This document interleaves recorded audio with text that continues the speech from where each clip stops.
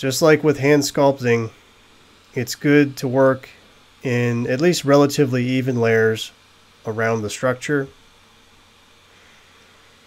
So the group is adding roughly six inches at a time around, tamping it in place, and then adding the next layer.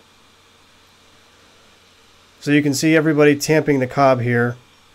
It doesn't require very much tamping pressure or power.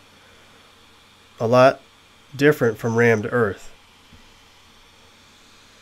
Tamping cob is probably the easiest tamping method out there, even easier than tamping straw clay into a form. And here you see the trimming process is incredibly easy.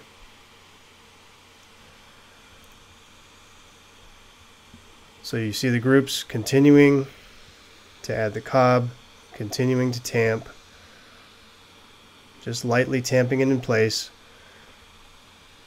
And with this forming system, you can see if you miss a spot because you can see through the forms.